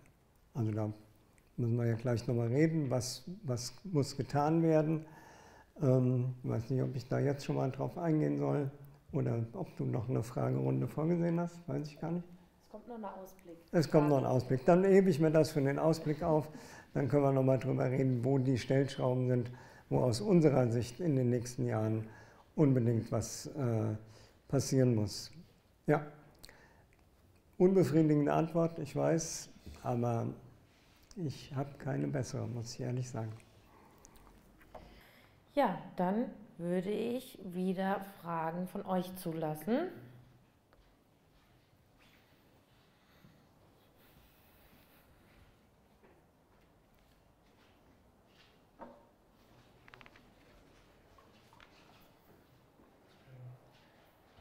Ja, äh, erstmal vielen Dank für eure klugen Beiträge. Ich wollte nachfragen nach dieser Arbeitspflicht dem Asylbewerberleistungsgesetz, die da steht und die jetzt irgendwie in Thüringen auch Anwendung findet, irgendwo im Landkreis, glaube ich, zu Centbeträgen pro Stunde.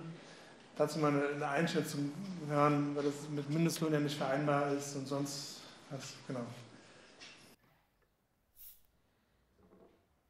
Da vorne dran war noch eine Frage. Ne? Ja, ich wollte da mal kurz anschließen. Ich würde es ein bisschen präziser auffassen wollen. Also genau genommen. Es natürlich gibt auch andere Länder, die haben ziemlich hohen äh, Anteil an Rentnerinnen und Rentnern, aber in Deutschland ist es besonders ausgeprägt. Wir haben jedes Jahr etwa 300.000 mehr Rentnerinnen und Rentner, die in Rente gehen, als nachrückend durch die Bildungssysteme, die einzahlen in die Sozialsysteme. Nach der Forschung ist es jetzt so ganz klar, dass man sagt, wenn man das auf die Jahre berechnet, bräuchte allein Deutschland weit mehr als eine Million Einwanderer im Jahr, im Jahr, um überhaupt dieses ganze, die ganzen Sozialsysteme und so weiter, Rentensysteme auf Dauer aufrechterhalten zu können. Das heißt, wir sind mehr auf Einwanderungen und Einwanderungswellen angewiesen wie andere Länder. Zunächst. Das bedeutet natürlich, da muss man sich natürlich überlegen, wie weit will man gehen in, in, der, in der, Konzeption, auch von der Linken aus. Nicht? Wir haben ja ganz gute Ansätze, keine Frage, aber es sollte noch ein bisschen weitergehen. Nicht? Das wird so nicht funktionieren können. Was die Rechten da sagen, Privatisierung, äh, das, das, also totale Privatisierung äh, des Rentensystems kann auch nicht äh, funktionieren, weil viele Menschen gar nicht sich die teuren Beiträge auch leisten können auf Dauer. Also auch da haben wir wieder das, was ich vorhin gesagt habe, ohne einen grundlegend ausgebauten Sozialstaat plus mehr Migrations- und, und Einwanderungswellen, gerade in unser Land, wird das nicht gehen können.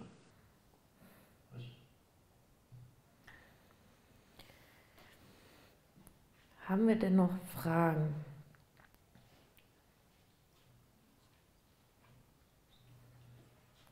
Aber es geht um die Verpflichtung äh, von äh, Asyl äh, oder Menschen, die Asyl beantragt haben. Das würde ich also an Nathalie und Jörg tatsächlich verorten.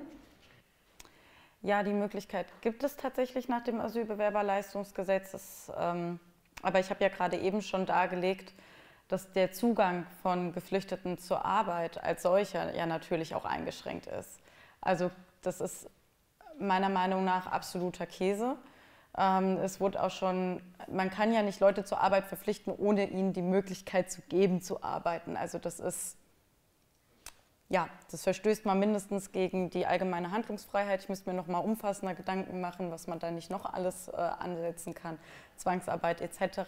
Auf jeden Fall absoluter Humbug. Aber da sieht man natürlich auch, und deswegen äh, Ihr Wortbeitrag, ich weiß jetzt leider nicht, äh, wie, wie du heißt, ich hoffe, es ist okay, dich die duze, ähm, das ist so ein bisschen das Schwierige. Wir dürfen uns nicht in dem Ziel, die Situation von Menschen, die hier ausgebeutet werden, zu stärken, in diesen Verwertungslogiken selbst wiederfinden. Das ist so ein bisschen schwierig. Weil einerseits sagen wir, hey, wir finden es blöd, dass ihr den Zugang nur für Hochqualifizierte, für die, die schon genug in die Sozialkassen einzahlen, zulassen. Aber gleichzeitig sagen wir, naja, aber ihr braucht die doch, um euer kapitalistisches System aufrechtzuerhalten.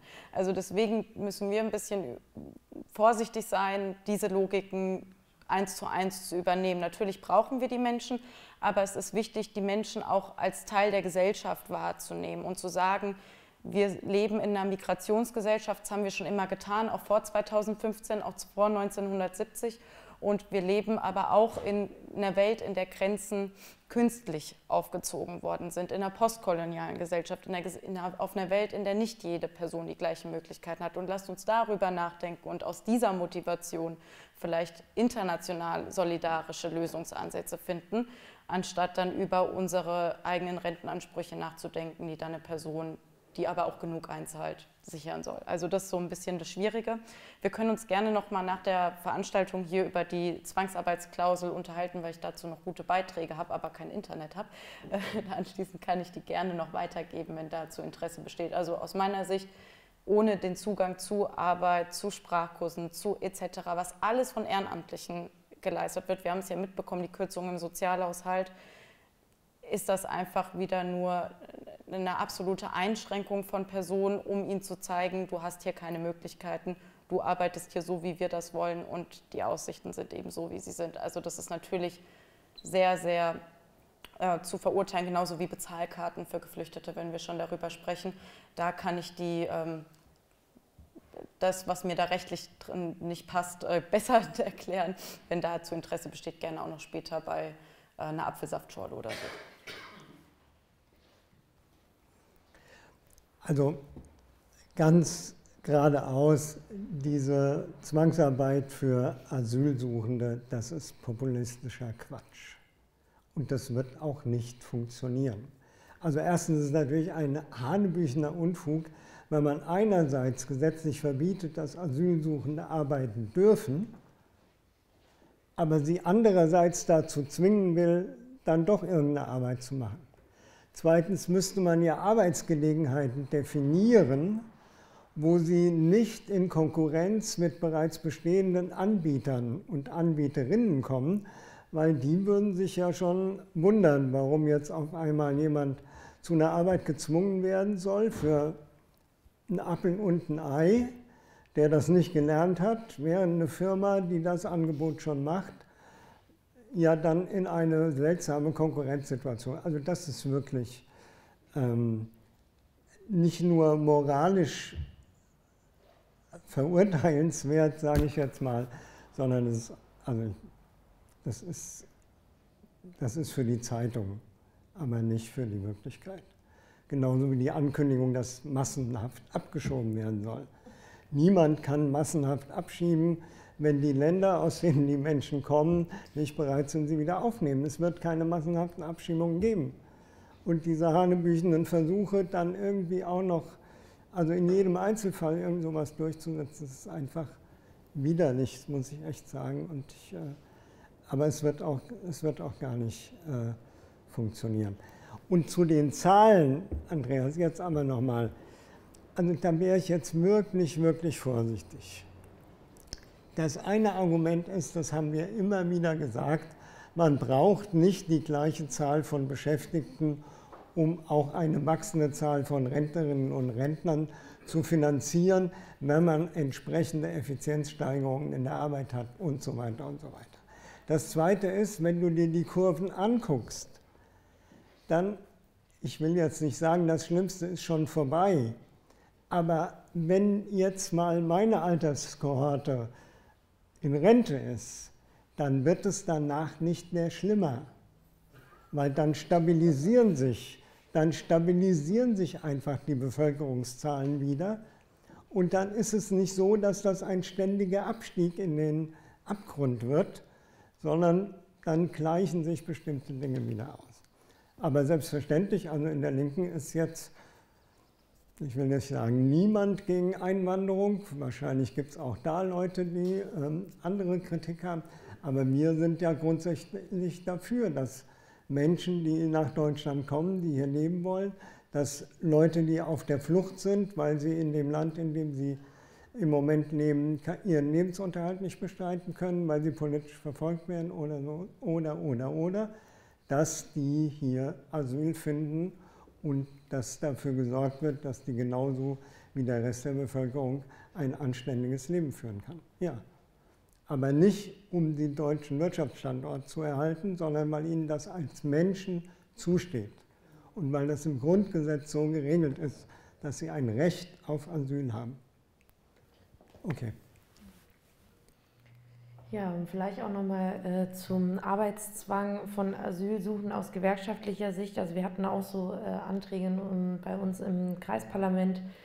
Äh, also es ist halt auch schwierig, Anträge zu stellen. Man soll irgendwie die, die Menschen für Müllentsorgung einsetzen. Ja, das sind halt in Teilen auch tarifgebundene äh, Tätigkeiten, ja, also äh, wo nach Tarif bezahlt wird, also wenn äh, Mülldeponieren äh, über die Kreisverwaltung äh, laufen und äh, das ist schon schwierig, da dann irgendwie zu sagen, für 70 Cent jemanden zu arbeiten zu lassen. Also es ist auch für uns als GewerkschafterInnen absolut nicht äh, hinnehmbar. Vielleicht das nochmal so ähm, als Anmerkung. Genau, und dann starten wir auch schon in die letzte Fragerunde und so ein bisschen so einen Ausblick zu geben. Und dann würde ich die erste Frage an äh, Nathalie stellen. Äh, kann man Arbeitnehmerinnenrechte auf EU-Ebene für alle regeln? Geht das überhaupt? Die überraschende Antwort ist ja, wenn man es denn will. genau, und wie kann man das machen? Naja, indem die Rechte von ArbeitnehmerInnen in den Fokus gestellt werden. Also indem man anerkennt, dass Menschen, die arbeiten, Rechtsträgerin sind, dass sie sozioökonomische Menschenrechte haben, das Recht auf Arbeit, das Recht auf eine faire Bezahlung etc. Und da ist es eben so, dass es international gewährleistete Standards, also zum Beispiel von den Vereinten Nationen, von der Internationalen Arbeitsorganisation etc. gibt, die da deutlich über den Standard, den es in der Europäischen Union gibt, die darüber hinausgehen.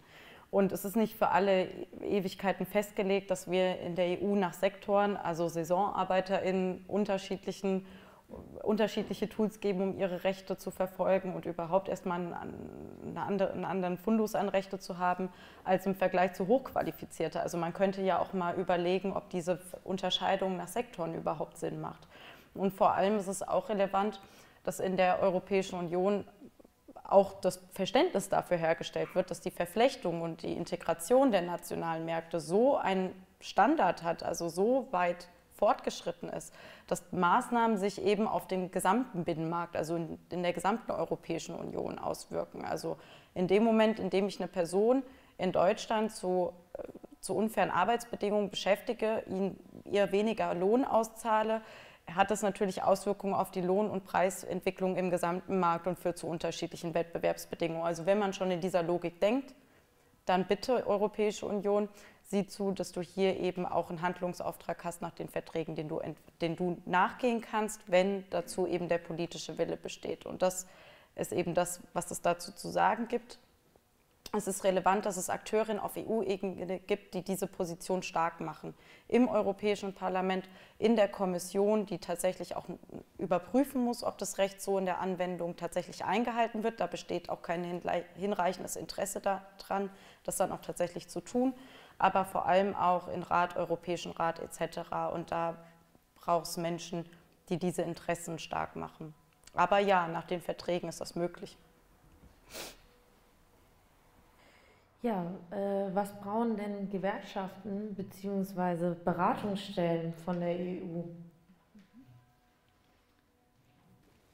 Beratungsstellen brauchen immer mehr Beratungsstellen und mehr BeraterInnen.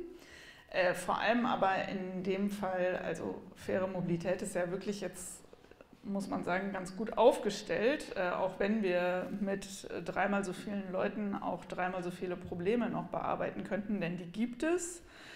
Ähm, aber in anderen äh, EU-Mitgliedstaaten gibt es ja solche Beratungsstellen eben auch nicht. Also wir haben äh, über sehr kleine ähm, Zeiträume immer als Projektfinanzierung so ein kleines EU-Netzwerk, wo es jeweils eine Person in Polen, eine Person in Slowenien, eine Person in Österreich, in Ungarn ähm, und ich glaube jetzt neuerdings noch in Kroatien und in Serbien gibt. Das ist auch total schwierig, weil das dann natürlich auch immer kofinanziert ist und äh, kleine Gewerkschaften mit einem geringen Budget sich das überhaupt dann nicht leisten können und so weiter.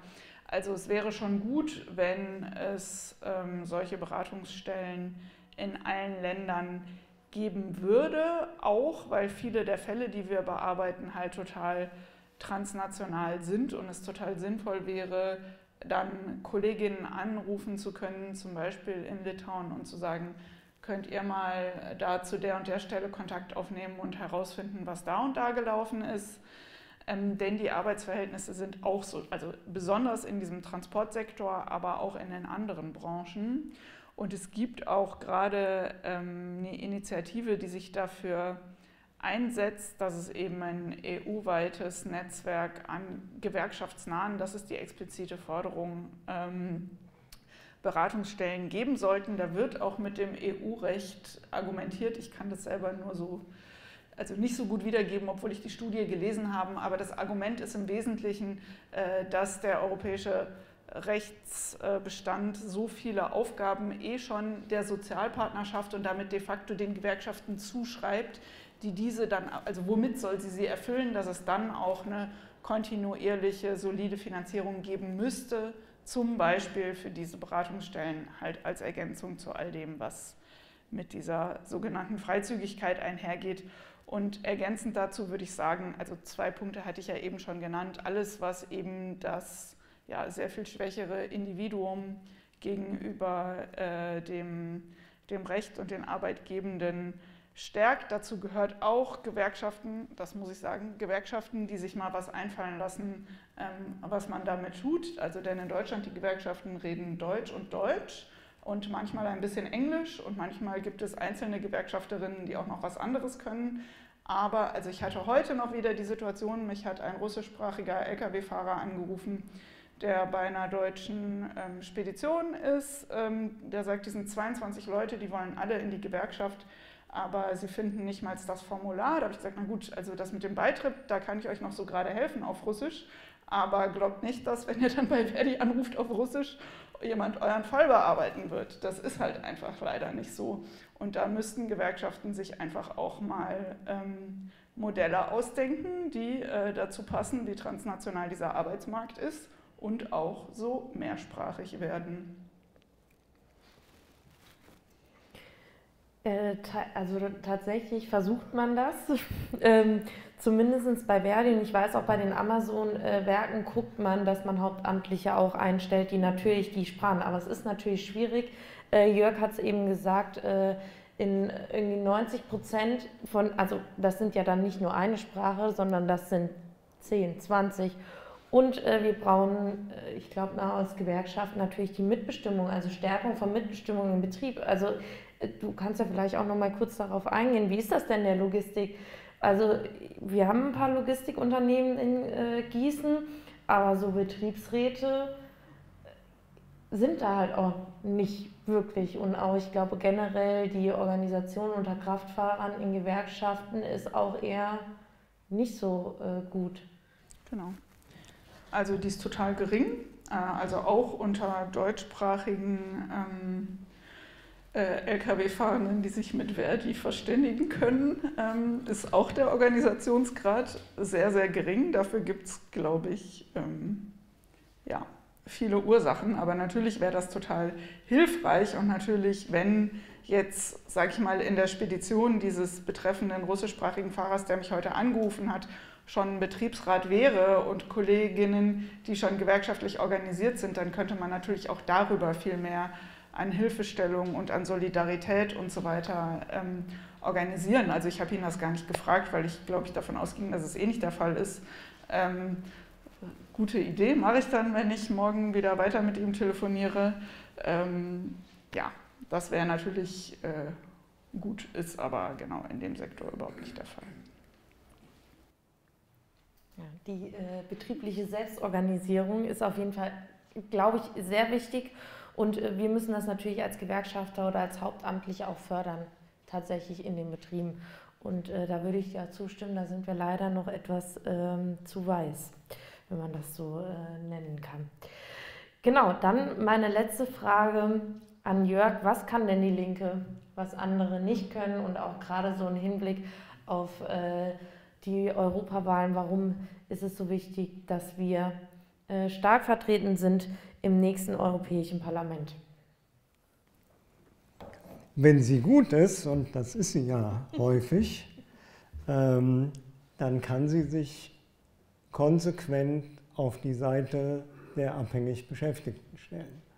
Und aus einer grundsätzlichen Haltung heraus die Position derjenigen vertreten und ähm, zur Geltung bringen, die tatsächlich sonst keine Stimme haben. Ganz grundlegend. Und dazu gehört, gibt es so ein paar Eckpunkte. Ein paar Sachen haben wir ja schon hier angesprochen, wobei wir über die Höhe der Entlohnung gar nicht so viel geredet haben. Aber es gibt äh, eine europäische Mindestlohnrichtlinie, deren Umsetzung in deutsches Recht noch äh, aussteht. Nach Vorgaben der Europäischen Union sollte der Mindestlohn mindestens 60 Prozent des mittleren Gehalts betragen, also nicht des Durchschnittsgehalts, sondern dessen, wo genau 50 Prozent drüber und die Hälfte drunter ist. Und das wären in Deutschland im Moment 14 Euro und 12 Cent. Da sind wir noch nicht. Ähm, das müsste geschehen. Wir sind dafür, dass man die Entsenderichtlinie, über die jetzt hier verschiedentlich gesprochen wird, worden ist, ähm, grundlegend überarbeiten muss. Es muss mit einem äh, Sozialversicherungsschutz ab dem ersten Tag gelten. Die erworbenen Anrechte müssen übertragbar sein und auch mit ähm, ähm, grenzüberschreitend angerechnet werden können. Wir sind unbedingt dafür, dass es klare menschenwürdige Standards bei Unterkünften geben muss für die Menschen, die hierher kommen. Und ähm, über also das wären so ein paar Eckpunkte. Und das Dritte ist, was ebenfalls ansteht, ich habe vorhin kurz darauf ähm, angesprochen, ist, dass die EU eine, eine Richtlinie oder eine Diskussion um die Stärkung der Tarifbindung führt. Die Europäische Union, wohlgemerkt, nicht die einzelnen Staaten, Mitgliedstaaten im Einzelnen. Und der Vorschlag der Union sieht im Moment vor, dass es einen nationalen Aktionsplan zur Stärkung der Tarifbindung geben muss, wenn die in weniger als 80 Prozent der Betriebe nicht mehr vorhanden ist. In Deutschland haben wir nur noch 50 Prozent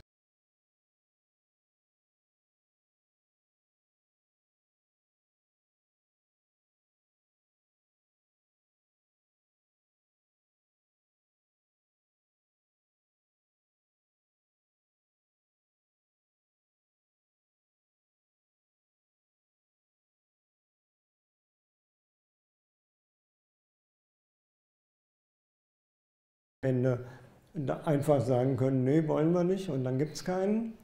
Ähm, das könnte man umdrehen und sagen, wenn überhaupt, dann muss es eine qualifizierte Mehrheit dagegen geben. Ich will jetzt nicht, müssen wir jetzt nicht ins Einzelne gehen, aber das würde einfach die Situation in den Betrieben völlig anders gestalten und ähm, verändern.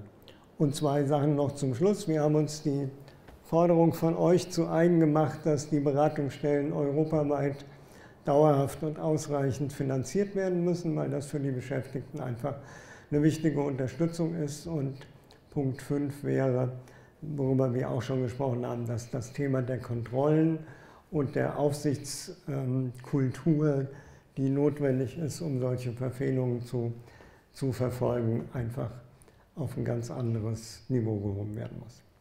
Soweit von meiner Seite. Danke. Ja, danke schön.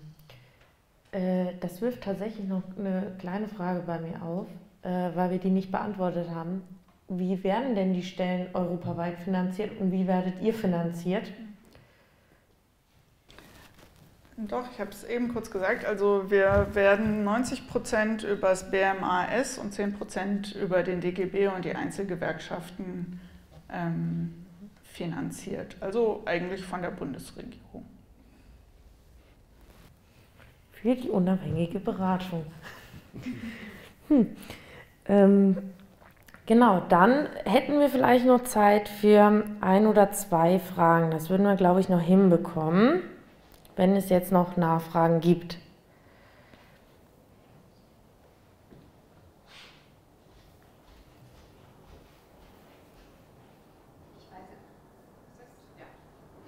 Äh, die Situation in Offenbach würde mich noch interessieren, falls es dazu Zahlen, Daten äh, und äh, ja, Ergebnisse gibt oder ob das jetzt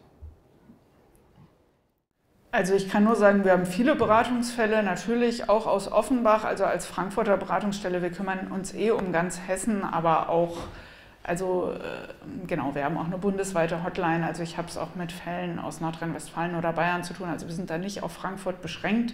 Das meiste bei uns ist eh über Telefon. Ähm, relativ wenig ähm, Vor-Ort-Beratung, weil die Leute halt auch mobil sind und keine Zeit haben, weil sie ja die ganze Zeit irgendwo arbeiten müssen. Ähm, genau, also da taucht Offenbach und Umgebung häufig ähm, auf, aber ich könnte jetzt nicht sagen, so und so viele Fälle oder die Branche besonders oder so. Also wir haben es immer wieder auch mit Bauunternehmen, die hier ansässig sind und so zu tun, aber ja. Ja, dann bedanke ich mich. Äh, ich bedanke mich, dass ihr da wart. Ich bedanke mich aber auch, dass ihr da wart und hier an dem Panel äh, teilgenommen habt. Und jetzt habe ich noch ein paar äh, Werbeblogs, ähm, bevor ich dann noch mal kurz an die RLS abgebe. Ähm, genau, also das war jetzt unsere vorletzte Veranstaltung. Wir sind diese Woche Freitag noch mal in Witzenhausen und da reden wir über äh, die Klimapolitik der EU. Ähm, das beginnt um 18 Uhr und ich möchte nochmal darauf hinweisen, weil wir es auch eben ein paar Mal angesprochen haben, äh, Lieferkettenrichtlinie, Lieferkettengesetz. Es gab in dieser Veranstaltungsreihe mehrere Veranstaltungen, die sind aufgenommen worden und die werden auf YouTube äh, bei der Rosa-Luxemburg-Stiftung hochgestellt. Und dann äh, würde ich dir das letzte Wort lassen. Ach so, und nochmal ein großes Danke an äh, Mindlabs Media, die das hier äh, aufgenommen haben. Ähm, Dankeschön. Ja, äh, ich möchte mich auch nochmal ganz herzlich im Namen der Rosa-Luxemburg-Stiftung bedanken, dass ihr alle da wart. Ich fand es mal eine sehr interessante und anregende Diskussion. Ähm, da hinten gibt es noch einen Büchertisch, den hast du schon erwähnt, aber ich habe es nochmal. Ähm, da kann, kann, man sich auch bedienen. Da gibt es ähm, ein paar Veröffentlichungen von der Luxemburg-Stiftung, aber Faire Mobilität hat auch was ausgelegt. Also ist eine interessante Zusammenstellung. Ähm, das Catering dürfte jetzt gleich da sein ähm, und wir freuen uns, wenn ihr noch kurz verweilt und